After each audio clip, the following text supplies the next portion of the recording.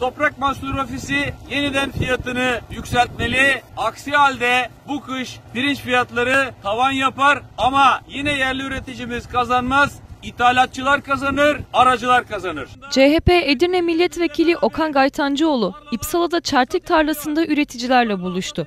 Gaytancıoğlu başlayan çeltik hasadında verimde düşüş olduğunu vurgularken ithalatta artış olduğunu belirtti. Gaytancıoğlu, Toprak Mahsulleri Ofisi yeniden fiyatını yükseltmeli. Aksi halde bu kış pirinç fiyatları tavan yapar. Ama yine yerli üreticimiz kazanmaz, ithalatçılar kazanır, aracılar kazanır dedi.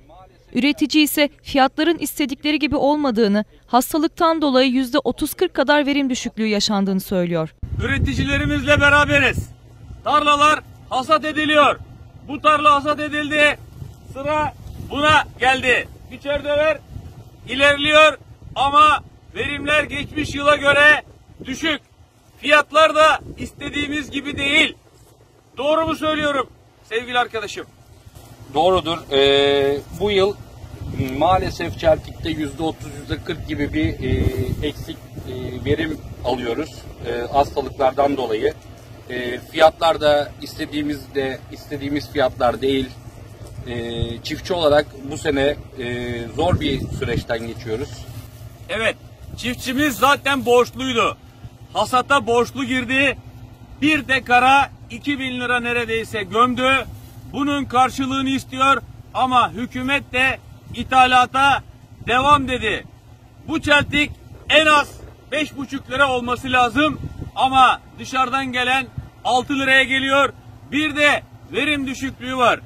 Hükümet Toprak Mahsulleri Ofisi'ni devreye soktu. Bunu 4 liradan almaya çalışıyor üreticiden. Fabrikacılar da üreticiden şu anda ürün almak istemiyorlar. Yani bir kaos var. Bu pirinç fiyatlarına yansımaması lazım. Üreticimiz destek bekliyor. Ama Çeltik'te 15 yıldan beri destekleme primi artmadı.